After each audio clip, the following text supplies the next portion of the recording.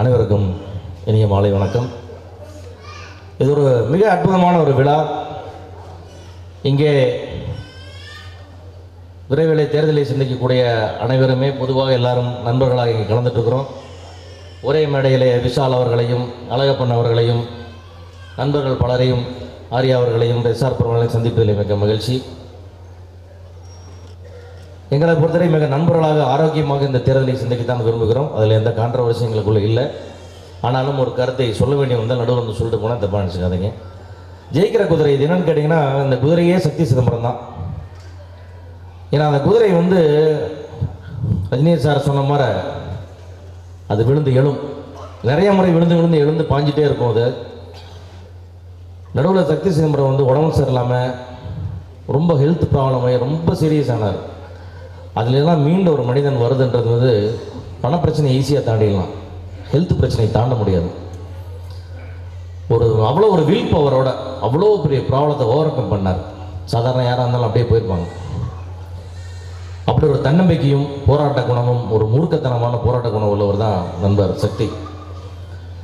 So அவருக்கு ஒரு இந்த படம் எடுக்கும் போது நிறைய தடங்கல்கள் ஒருத்தர் எடுத்து இன்னொருத்தருக்கு மாறி அவர்கிட்ட இருந்த மாதிரி நிறைய பிரச்சனைகள் வரும்போது இந்த படத்தை எடுக்கவே நிறுத்தியே ஆகணும் அவ்வளோ போராட்டம் நடந்த போது நாங்களெல்லாம் அவர் கூட இருந்து அத்தனை பேரையும் சமாதானப்படுத்தி இன்னும் சொல்லப்போனால் சில பேரையெல்லாம் திட்டி இந்த படத்தை நடக்க வைத்து அதுக்கு வேணுங்கிற எல்லா உதவிகளையும் செய்து ஒவ்வொரு முறையும் சக்தி ஃபோன் பண்ணார்னா இந்த பிரச்சனை சார் உடனே சால்வ் ஓகே சார் சால்வ் இப்போ நாலு நாள் முன்னாடி ஓகே சார் சால்வ் அப்படி பண்ணி பண்ணி தான் இது மாதிரி எவ்வளவோ படங்களை நான் வந்து நிறையா சர்வீஸ் பண்ணுறோம் எல்லாரும் அதுக்கு தான் வரோம்.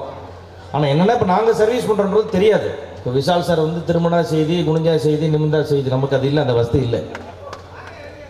அதனால் வந்து விஷால் சார் நாங்கள் சேர்த்தாலும் செய்தியாகுது நீக்கினாலும் செய்தியாகுது அவர் செயற்குழு கூட்டினாலும் செய்தியாகுது எங்களுக்கு அந்த வசதி இல்லாதனால நம்ம எவ்வளோ படங்கள் செய்கிறோம் நம்ம ஒன்றும் நோட்டீஸ் போட்டு விளம்பரம் செய்கிறதில்ல இந்த மாதிரி எவ்வளவோ சிறிய படங்கள் வளரவும் வெளிவரவும் இரவு பகலாக எல்லாரும் பாடுபட்டிருக்கோம். அதே சர்வீஸ் நீங்களும் செய்ய வர்றதுல எங்களுக்கு ரொம்ப சந்தோஷம்.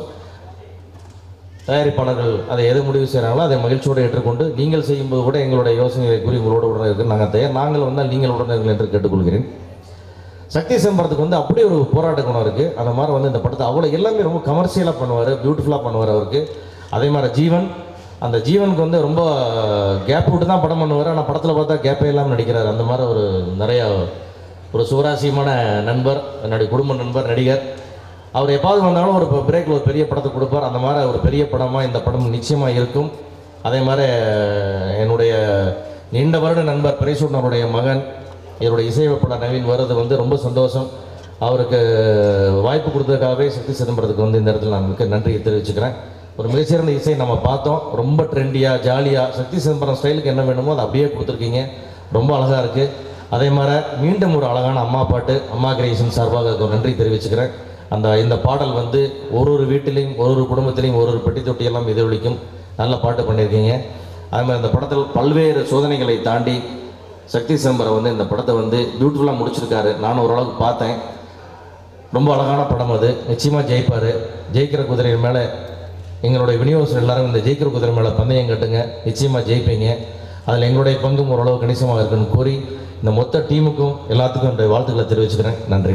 நன்றி சிவன் சார் ரொம்ப நன்றி. ஒரு சின்ன